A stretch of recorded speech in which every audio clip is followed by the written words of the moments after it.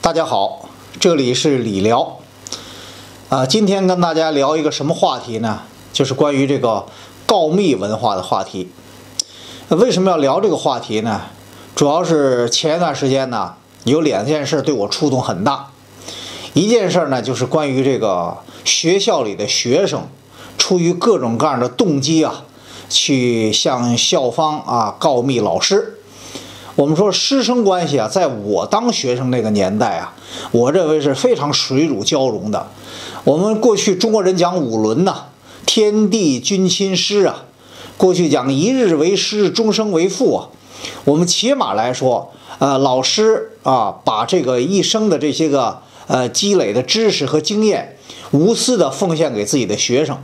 学生呢，呃，如饥似渴的，像一个呃干瘪的海绵一样，从老师这里，从师长这来来吸取他们应该得到的知识。所以这两者之间是一个。呃，非常珠联璧合的，虽然没有血缘关系，但是彼此之间呢是非常紧密的呃一种人与人之间的社会关系。但是现在居然呢，呃师生之间的关系呃成了告密与被告密、防范与被防范的关系，所以这个对我触动很大。第二个呢，就是前一段时间啊，关于这个著名的。歌星啊，当然都是前歌星了，都现在都大妈级的了。就是这个苏小明，啊，那么他呢，在这个饭桌了上面有一段呃私人的牢骚话，结果呢被同桌的人啊，不是同桌的你哈，同桌的人，同桌的他啊，把他拍成了手机视频，并发到了网上去，引起了啊广泛热议。所以我今天呢，结合我这几十年的人生经历。和我已经啊掌握的或听过的这些个故事，想聊聊这个话题。在这聊这个话题之前呢，呃，我想啊，呃，首先感谢大家啊这么多天来啊对我的关注啊，特别是呃对我的这个订阅啊、呃点赞啊，包括这个打赏啊。那么今天呢，这个频道通知我啊，说你这个已经开通了这个广告功能。因为我是不知道它这里边，呃，怎么样？因为原来也不是我设置的，它自动就跳出来了。我想呢，从今往后呢，恐怕会给大家呢带来一些个不便啊。因为不管是什么地方冒出来广告啊，总是会打断您的呃一些个对节目的欣赏也好啊，或者说是观看也好啊，或者是收听也好啊啊，在此啊，理疗表示歉意啊，对您的这个带来的这些不便啊，我深表歉意啊。同时呢。非常非常感谢啊！您对我的一如既往的支持啊，呃，对我来说呢，这个无论是这个您看广告还是打赏，我都看成呢是对我的一种鼓励和鞭策。我会呃更加积极的啊，努力的啊，把这个节目做好。啊，在之前的节目我也跟大家讲过，就是我本身并不想拿这个为生，只是说呢，透过这么一个平台跟大家呢。聊一聊，我想跟大家交流的心里话。呃，我本身呢，就是说，一直想致力于啊普及和启迪啊公民素质。呃，因为我们国家呀，这么多年来一直呢就在一个呃非常不正常的这个文化氛围当中啊，无论是呃当初的这个文革。还是文革之后的啊，很多的这个思想解放没到位，这样一个状态里边呢，我们的公民素质啊一直没有提高。有时候我在反思啊，三十年前的那档子事儿啊，我想大概您都知道怎么回事儿。那么那一段时间里边，我整个人都在北京，而且我当时这个工作和生活的地点就在西长安街一带，啊，所以从公主坟到。这个天安门啊，中间包括大家比较熟悉的什么木樨地呀，什么六部口啊，啊那个情况啊，我都历历在目。所以有些话我不太容易或不太便于把它说的呃非常的明，那但是我想用一句网络术语，就是你懂得啊。所以我们这些人呢，本身就是有良知、有常识的。中国可以啊走向一个更好的公民社会。啊，中国完全可以走向一个非常好的民主法治的这样一个良好的前景。但是，一切一切的基础啊，我个人认为啊，都需要启迪公民的基本素养。如果没有这一些的话，一切都是枉然。啊，所以我们说培养公民素质啊，是我们每个人啊，利用自己的小小的一方天地啊，每个人都尽到一点责任和义务。我觉得，这就是对国家、对民族的啊最大的负责任。所以在此呢，呃，我既然找把这个平台放在这儿了，那么我只要有时间啊，呃，不管是它的收获如何，我都会呢尽量用心的把这样几个节目给大家奉献出来。啊，也呃，请大家呢一如既往的啊对我表示支持啊，起码表示应有的宽容。好，那我今天讲这个告密文化这个话题。我们今天说啊，前些年啊，大家对告密文化的东西呢，恐怕还不是太这个在意。但是，一五年呢，出了一个就是毕福剑事件。那么毕福剑呢，他在这个一个私人聚会当中啊，有一段临场发挥。那么结果呢，就被同桌的啊这些人拍了以后，就放到了网上去。结果呢，这个大家都可想而知了啊。那么就是毕福剑的人生，啊发生了一个大的转折。我们今天说呀，这个手机等等这些现代的这个通讯工具啊，它的这功能很多啊，可以录音，可以录像，可以拍照片儿啊。但是呢，往往也让我们的生活圈子啊变得不安全了。实际上，无论是前几天的苏小明，还是前几年的毕福剑，呃，人家呢都是在一个私人的呃聚会上啊，一个饭桌上在说这些事儿。我认为呢，在没有经过人家许可的情况下，你举着相机在那儿给人家录东西，而且没有经过人家的许可就把它发到了公共空间去，我觉得这是对人家起码的一种不尊重。实际上，在我们中国的这个传统文化里边呢，没有告密文化，呃，这样的一个历史，啊，我们从小听父母讲啊，静坐常思己过，闲谈莫论人非，啊，包括我们说的啊，这个人人自扫门前雪，岂管他人瓦上霜，呃，都是这个意思。也就是说，我们尽量把自己的事儿做好啊，修好身，起好你的家。啊，外边的事儿呢，尽量少管。也就是说，每个人都成为一个呃合格的公民，那么整个社会呢，就是一个公民社会。但是现在我们更多人呢，好像对这个告密文化越来越敏感了啊。主要是身边呢，我们觉得最亲近的人，他往往是最不安全的。那么这个呢，我就是花了点时间啊啊，做了点功课啊，看看这个告密文化这个根儿啊，到底在哪里。在我有限的这些知识结构里边啊，我知道就是呃，从小我们读过一些东西啊，讲到了就是前苏联，尤其呢是在这个斯大林时代，就那个时候啊，这个告密制度啊，就成为那种独裁统治下的一个基本制度。它无论呢是通过呃控制当时的这个党内，还是控制当时的社会啊，都是有意的在造成人与人之间的。互相的猜忌和不信任，那么使得这个人际关系呢变得非常的恶劣，乃至呢突破人的道德底线，然后啊使一个政权它的这个支撑不是基于人民对政权的信任，而是靠这样的一种彼此之间的钳制，来使人们不敢表达对政权的不满，从而呢来起到这个政权稳固的作用。实际上呢，这是一种哦恐怖手段来维持一种独裁统治，所以前苏联呢，在这个斯大林时代，那么这样的事儿呢就已经达到了登峰造极的程度。那么典型的呢，我们就要讲一九这个五三年啊三月五号，那么斯大林去世。实际上说起斯大林去世的这样的一个秘密呢，当时有很多的传闻，当然后来呢。呃，我非常感谢像沈志华教授啊这样的一个呃档案学家、历史学者，那么他们通过呃前苏联解密的档案，把斯大林的这样一个死亡之谜就揭露出来了啊。用这个沈教授的讲法呢，就是当时的苏共中央不积极治疗，也就是说，这个斯大林本身呢，他这个自己呀是有一个晚上不睡觉啊，白天休息的这么一个工作习惯，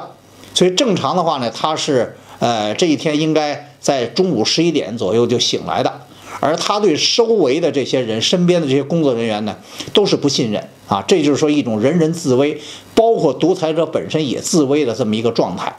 所以呢，他只靠他临时换的这么一个保姆去叫醒他，结果这个保姆呢，到了下午一点钟啊，发现这个斯大林本身呢还没有起床的意思啊，所以这时候进去以发发现呢，这个斯大林已经倒在了这个卧室的地上。所以这个时候呢，实际上就是这种突然间发了这个脑梗啊，这个昏迷了啊，然后他马上就会通知了这个当时苏共中央的几个呃重要的核心人物啊，包括马林科夫啊、赫鲁晓夫这些人。这人来了以后呢，谁都不主张啊积极的给这个斯大林治疗啊。用沈教授的话说，就这些人在这个斯大林的这个尸尸体，当时还不是尸体了，就是他倒在地上的。这个周围啊，就转圈儿啊，围着他的身体转圈儿，最后大家全散了，啊，所以没有一个人啊挺出来说马上要采取积极措施去抢救他。所以呢，在这样一个不积极抢救的状态下，那么在三月五号啊，他就停止了呼吸。所以这样一个独裁者呢，就这样的呃走掉了。我们说这样的一个文化呢，也后来也传到了呃中国。所以现在我们看啊，很多的这个党内的悲剧啊，跟这个告密文化啊都有关系。最早呢，可能能够呃追溯到，如果大家研究党史的话，可以追溯到苏区当时的这个 A B 团啊。所以我们说呀，这个告密文化本身啊，之所以能够呃有这么强的生命力，呃，跟这个长期以来的啊内外之间的这种土壤是有关系的。啊，当然了，我们说这个明朝的时候啊，那种特务统治、宦官统治本身啊，也是我们国内的土壤啊，加上前苏联的啊这样一个东西，所以使得呢，这个告密到今天为止啊，还是一种手段。那么这个手段本身啊，呃，有一种支撑啊，我们把它分成几个层次来讲吧。第一个支撑呢，我觉得是道德支撑。啊，他认为呢，我这有巨大的正义在后边啊，比如说我为了理想啊，为了一个组织啊，为了一个什么什么东西啊，那么我就可以拿正义来压过人道。我们说人道背后这个逻辑是什么呢？就是亲亲相隐啊。我们说这个父子之间啊，夫妻之间啊，那么所有有血缘的这个亲友之间，互相之间保护，这是天性啊，这是人本身作为人类。应该具备的东西啊，我们管这个就叫人道，而他在这个告密文化的道德支撑里边呢，我觉得他是拿那个所谓的正义来压制人道，啊，所以这里边呢就出现了很多啊，以这个卖主求荣啊、卖友求荣啊、卖父求荣、卖母求荣、卖师求荣啊，呃为这个特点的这些恶劣的啊，呃压过了人道的这种事件。最后呢，导致了就是人人自危，人人自保，啊，有些个呢，统治者就利用这种文化，就是通过人人自危来达到人人自保，啊，那么使得告密成为他的巨大的道德支撑。第二个支撑呢，我觉得这个告密文化呢，它有组织支撑，啊，也就是说，通过这种集体的洗脑，导致了这种集体的无意识，很多人呢没有罪恶感。啊，没有道德的丧失感，就被裹挟着，就做了很多啊这一类的有违人伦和人道的事情。第三个呢，就是呃经济支撑，那就是说啊，对这个告密者啊给予这个一定的物质奖励、一定的赏赐啊，使得他在这个物质和精神方面有所收获啊，是一种刺激。那么接下来呢，再恶劣一点，就是告密就成为一种呃报复手段。啊，就是平常你对我啊有点什么什么东西，那到了关键时刻啊，我就可以通过啊爆你的某些个料啊，使得让你身败名裂，而使得我能有一种复仇啊这样的一种机会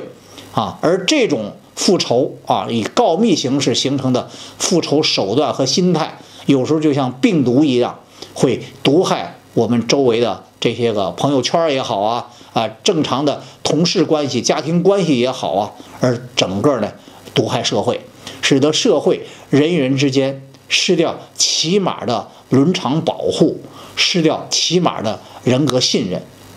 那么接下来，我觉得就是告密文化进一步在发展，就变成了成每个人啊，就是打探别人隐私成为一种瘾啊，就是说非常喜欢啊窥探别人的内心，窥探别人的隐私。我们今天讲啊，如果说呃你有一个道德的正义在这里支撑啊，你不会做出来。啊，这种有违人伦和人道的事情，但是如果有一个压过人伦人道的所谓的正义在背面支撑着，这个时候啊，你就会觉得只要我的目的正确，手段就可以不择。呃，当然了，在这样一个所谓正义的支撑下，那告密的内容也就五花八门了啊。大体上呢，我们大概分三种，一种呢是确有其事。但是呢，是在隐私场合下彼此的悄悄话，你把它捅出去了啊，那么这个呢，就是一种确有其事不宜公开的内容，把它变成了告密的内容。第二种呢是捕风捉影式的啊，也就是说本身呢恐怕没有这个意思，但是你把它曲解成了这个意思，或者把它有意的去往那个上纲上线上去领啊，这样的话呢，主要是。呃，整垮对方，或者说是呃邀功请赏作为最终的目的。那第三种呢，就是凭空捏造了啊，也就是说莫须有的啊，弄一些个东西强安在上边啊。尤其是呢，在法治不健全、人治盛行的这样一个机制下面，这样的人呢，往往就被冤屈。轻的呢，恐怕是受一点表面的损失；重的呢，有可能丧失掉人的生命。所以我们说。告密文化本身啊是一个非常邪恶的文化，我们经常重温这样一段话啊。今天呢，我也把这段话呢，呃，继续给大家呃说一下。手段是正在形成之中的理想和进行之中的目的，人们无法通过邪恶的手段而达到美好的目的，因为手段是种子，目的是树，邪恶的种子发不出善良的芽。更不可能结出美好的果。我们今天说，以革命的名义，往往使革命吞噬了革命者。有时候我们说一个人是汉奸，而曲线救国与卖国往往就是一步之遥。今天我们对告密文化表示应有的警惕，对我们身边的人，动不动就是呃朋友，就是亲，我们要保持应有的警惕，保护好自己的隐私。交到真正的在关键时刻懂理儿、懂面儿、懂大义的公民型的朋友，比什么都重要。在保护自己的同时，还是要让自己做一个有良知、有常识啊，追求自由、担当责任的好公民，使得我们周围都变得更加友善一些。这样的话，每个小环境好了，我们心目当中的那个法治国家、和谐社会。才会真正的到来。好，今天就跟大家聊到这儿，谢谢大家。如果喜欢我们的节目，请您点赞、订阅和转发，也可以根据屏幕信息给我们打赏。左边是 PayPal，上方是 PayPal 转账邮箱，下方是 PayPal link，右边是微信转账二维码。衷心感谢您的鼓励和支持。